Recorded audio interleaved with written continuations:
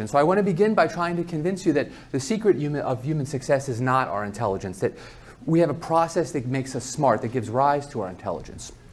So I want to start with dipping into the files that I call the Lost European Explorer files.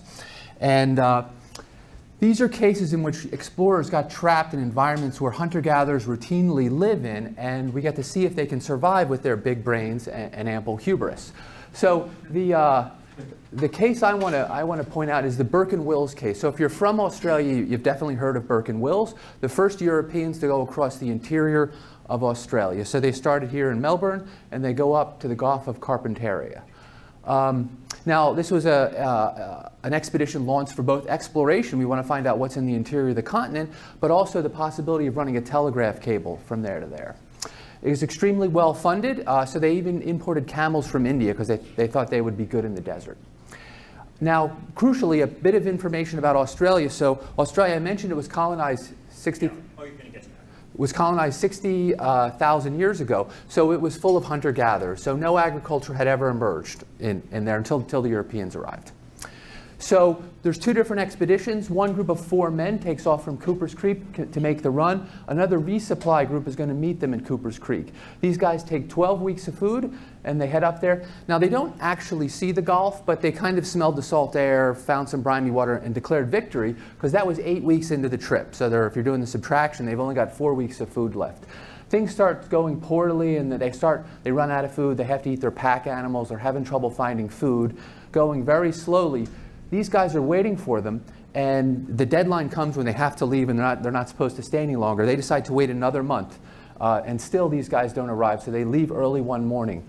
Later that same morning, Burke and Wills come in with uh, uh, one other guy. They lost one guy along the way who died, so they have three guys now. They decide they've just missed these guys and they're not going to be able to catch them. So the leader, Burke, decides their best chance is to head for a police station or a police station and ranch at a, at a place prophetically called Mount Hopeless. Uh, so these guys start following Cooper's Creek, and that's going pretty well. Uh, oh, so I should mention that they were able to resupply at Cooper's Creek, so they have a little, little resupply they're going along Cooper's Creek and they end up getting trapped because their last camel dies in the mud and there's a stretch of uh, desert that they need to cross in order to get to the ranch and police post. So they can't make the run, so they're, they're sort of marooned along Cooper's Creek for, the, for, the, for their lack of ability to find water in the desert. Now they're struggling to catch fish or hunt, uh, but they find they're able to possibly survive and things are looking hopeful because they get gifts of fish from, from the local aboriginals, the Yawantru tribe. And when they're in a Yawantru camp, they notice them making Nardoo cakes.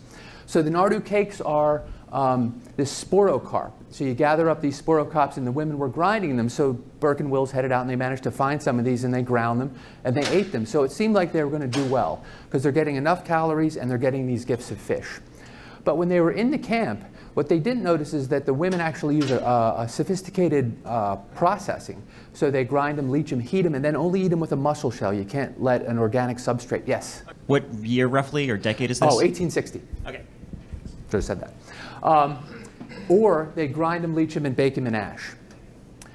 And uh, because if you don't do that, nardoo turns out to be toxic and indigestible. In particular, it has an enzyme called thiaminase, which depletes the B1 in your system, you eventually get a horrible disease called beriberi.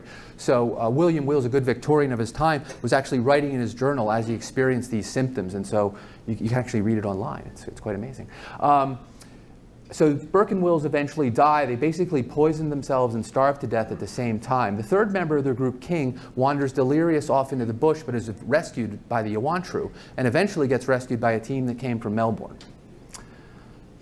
Okay, so what this and many other tales like it tell us is that despite months actually in the outback with, with supplies in, in, order to prepare, these guys couldn't figure out how to survive as hunter-gatherers. They couldn't figure out how to survive in the environments in which we evolved, which, we, which humans have lived in for 60,000 years. So no specialized mental modules fired up, no instincts gave them the ability to figure out what they needed to know, and no general intelligence helped them figure it out and they couldn't find water or identify edible plants. Now you might think, well, that would be pretty hard to do. No animal could do it, except some of their camels escaped. And now the interior of Australia is full of feral camels uh, because camels have, they can smell water from a mile away and they have innate taste and sense cues which allow them to eat the right plants for them. And so they, even in a completely novel environment, they can find the right plants, but humans can't. If, you know, one important thing that Burke and Wills didn't know about was something that Australians commonly use. This is a plant called spinifex. And if you break these off and you smash them, you get these little crystals off of it, then you can heat them, and it makes a resin that's as strong as cement once it hardens, but soft and pliable when it's heated. So that, that's really useful for making tools. Okay, so they, and they, so they couldn't hunt or uh, uh, hunt effectively, make spears, or make fishing hooks. But this is something any local adolescent could do. So you can ask the question, what was missing? Well, what they were missing is what the adolescent gets, which is this download of a uh, vast body of cumulative cultural information that has built up non-genetically uh, in this whole system of culture inheritance over generations. that they didn't get that, so they can't survive. So this is something that really makes humans different. It's the, going to be the main, the main thing I'm going to be emphasizing as I go along here. But I want to come at this intelligence